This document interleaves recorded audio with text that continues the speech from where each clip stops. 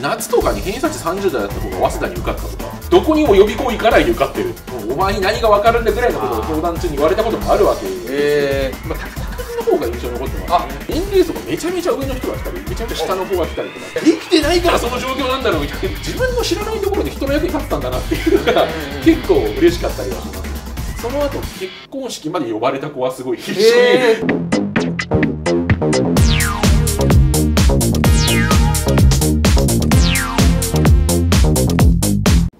ましたモテチャンネルです。今回はですねさあやってまいりました。大気に聞きたいはいハローゼア。必ずもうコメント欄に中森先生のこのハローデアのところが何秒に出てるっていうのがこう 書かれますから。はい。楽しみにしているようで何よりです。はい。ですがさあ今回はですね、はい。まあ中森先生も、まあ、結構もう講師歴は長くなりますよねもうそうですね大学生の頃からずっとやってて武田塾1年目からいるんで、はい、そうですよね。なんで多分いろんな人を見てきたと思うんですけど、はいはいはい。その中で印象に残ったなるほど。ちょっと聞きたいなと思うんですね。はい、まあなんか個人どうこうっていうよりはこういう感じで印象に残ったっていう感じでもいいですかね、まあ、いい意味にも悪い意味も意味でも印象に残ってるっていう。そうですねそうですね、はいまあどちらもあんまり特定されないようにしなきゃいけないかもしれないですけど、はいそうですね。まずびっくりしたっていうケースだと、はい。い、やこの子厳しいだろうなっていう受験相談がやっぱあって、はい。その子がその春になって合格しましたって来たケースですね、具体例で言うと、はい。夏とかに偏差値30代だった子が早稲田に受かったとか。ああなるほど。しかも相談乗っただけで、はどこにも予備校行かないで受かってるとか、へえはい、そんな人がいたわけですね。でそのアドバイスを参考にしてやったら受かりましたみたいな感じへでマジかみたいなあれだけで受かったのみたいな ケースとかはすごいびっくりしますね、えなるほど。そういう人がやっぱりいるわけですね。いますいます。はい。だから結構実はこれはでも毎年のように出てますね。あなるほど。あ本当に言われた通りにやったんだみたいな、うんで本人も結構厳しいよって話はしてたんはいはい。ですよ、まあ、厳しいから多分、まあ、これしかできないとは思うからこれだけやってそこの完成度でやっぱ勝負しようみたいな話とかうん結構戦略とか話して受かってるとかみたいなケースがあるんでそれはすごいびっくりしたしまあ、受かって嬉しいですね、うん。はい。そうですね。そもそも言うこと聞いてくれる人って少ないじゃないですか。はい。ちゃんとこうやってやってけっていうのでちゃんとやってくれたってことですね。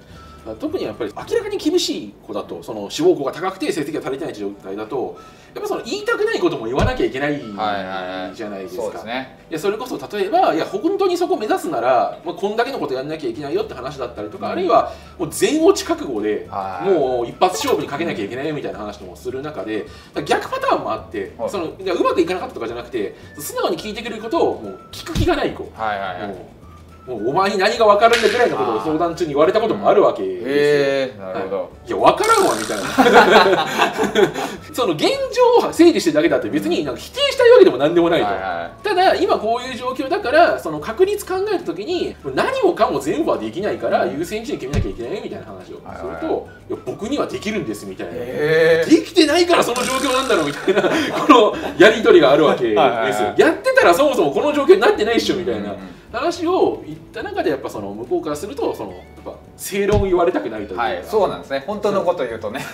分かっちゃいるけど言われたくないところあるじゃないですか、はい。でもこっちとしてはやっぱその可能性を1%でも上げてあげたいから言われたくないことだったとしてももう最悪自分が嫌われて恨まれても可能性を上げる方法を言ってあげなきゃなっていうところはあるんで、はい。まあ、どう捉えられるかっていうところはあるんでまあ、難しいところあー。え山火先生はどうでした？印象に残ってる人でした？いやいや僕受験相談担当してないんであそうなの塾長の話がやってるんで、ははい。まあ、高田君の方が印象に残ってますよねそうなんですね、はい、彼は本当に実は受験相談の時間かなり短いんですよ。あそうなんですね。っていうのはその質問をすることすごいなんかはっきりしたんですよね。ほうほうほうほう。自分でやってるしその悩みも分かってるから多分最初からすごい何聞こうか考えてきてるんですよ、めっちゃ多分楽しみにしてたんだと思う。んですよそれであそれだったらこうじゃないこうじゃないこうじゃないって言ってあ確かにその通りですねって言ってで主張するとか主張するみたいな感じで彼は結構そのもう両極端なんですよ、はい。もう基本的に言ったことがその通りだなと思ったらスッと聞き入れるし、はいはで逆にその自分でこうこうしたいっていうところがあったらこう言ってくれるんで、うん。あそれをそうしたいんだったらじゃあこうしたらいいんじゃないっていうこっちもアドバイスしやすいんで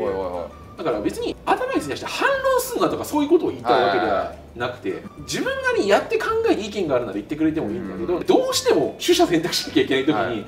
全部を捨てられないってなっちゃうと厳しいみたいなね。高田先生印象に残ってたそうですよ。めっちゃ印象に残ってますね、ははい。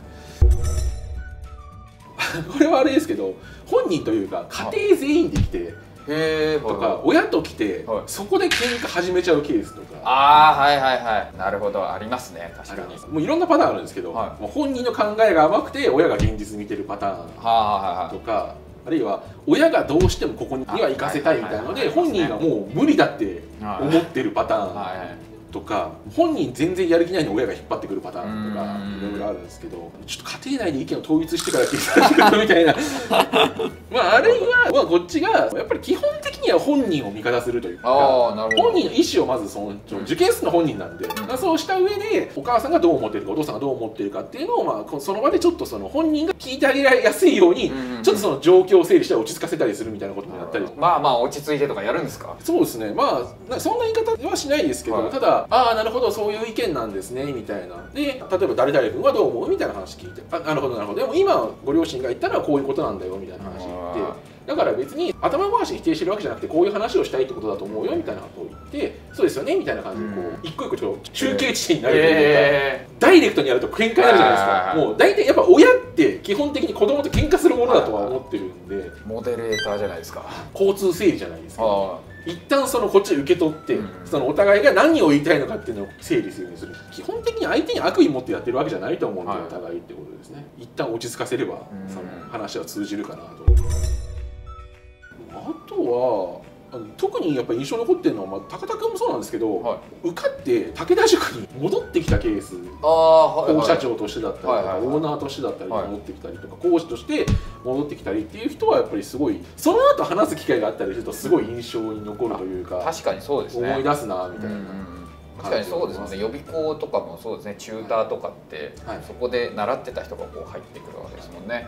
そうなんですよ。でうちの場合受験相談で受かったからとか、武田塾のやり方を参考にしてブログとか見てて動画見てたから受かりましたみたいな人も結構ああそうですよね。りいて、自分の知らないところで人の役に立ってたんだなっていうのが結構嬉しかったりはしますよね。まあそっか。映像授業とかもそうか。こう映像で教えてて見てないけど実は使ってましたとかっていうのもありますもんね、だからなんか自分の知らないところで感謝されてるんだなっていうのは結構嬉しかったりはしますよ、まあ、あとは本当に、まあ、面白い人は本当に年齢層がめちゃめちゃ上の人が来たりめちゃめちゃ下の子が来たりとかっていうこともえあるんでそうなんですね。で小学生の低学年なのに受験意識して親が来るとか大学受験ですよ。え中学受験なくて大学受験を意識して親が来るとか将来のこと考えて相談に来るみたいな。そんなこともあるんですね。もう小学生なんだけどもう医学部に入れたいんですけど、はいはいはいはこととか東大入れたいんですけどみたいなケースとかあで来たりー来るんですねそういうの。あとはその真逆で本当に30代40代50代みたいな方はい。で大学行きたいみたい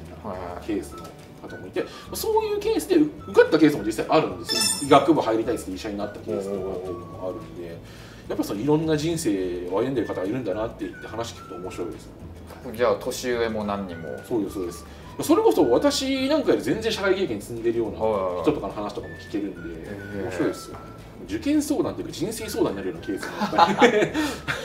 ただ僕もそんなに別に年取ってるわけでもないんでそこまで人生経験あるわけじゃないんであれですけどでもなんか真剣に話聞くっていうことはいっぱい経験できてるのは面白いかなと思いうんうんうん。ます、そういう意味で言うと多分受験相談経験してる人はその人の話を聞くキャパが広いというはははかね。その大抵のことは聞いたことあるんで。あそうですよね。経験上なりますよね。同じ悩みがいっぱいやってきますもんね。許容範囲が割と広い方かな。となるほど。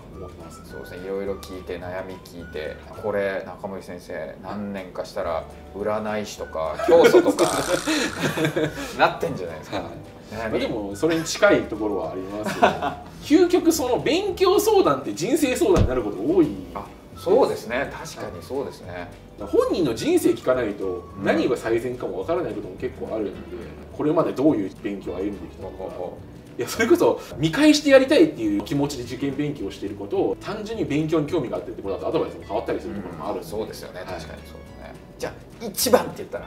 多分一番印象に残ってるのはまああの結構早い段階で見てた子なんですけど、上京してきた上で入って、はい。で卒業して大学受かって卒業してその後結婚式まで呼ばれた子はすごい印象に結婚式まで行ったんですか、はい。えそれはすごい印象に残ってますね。人生そのものになんか大きく関わっているというかはい。まあ別に結婚相手僕の知り合いとかでもないんですけど、でも塾の先生として会った人がそのまま長く付き合いがあるというのは、はい、印印象残ってます、あ今でもじゃあ。はいそうですね。へえスピーチとかしなかったですか？はしてないですけどでも一言あの会話する機会もあってもう本当にお世話になりましたって言われて大してしてないけどなみたいな話なんですけど まあでもやっぱりそただのある意味先生なんで別になんかそのわざわざ呼ぶような人間でもないじゃないですか。でもそういう意味で言うとそのインパクトには残ってたのかなっていうか、うん。まあ、人生でこう、まあ、この人のおかげでっていうなんか多少プラスになる役割ができたのかなっていうのはすごい印象に残ってます。なるほど。いやーこれはいいことを聞いたんじゃないでしょうかね、はい。ということは山火は印象には残っていない。というか相談乗ってないっていう 生徒としては印象に残ってるけどって話ですね。そういうことですね。はいということでした。あ、ダメですよ。かといって中森さんの印象に残るようになんかいろんな格好を変えようとか 髪型スパツにしようとかですね。そういう やってこないでくださいね。はいはい、ということでした。小林中森先生お越しいただきました。ありがとうございました。ありがとうございました。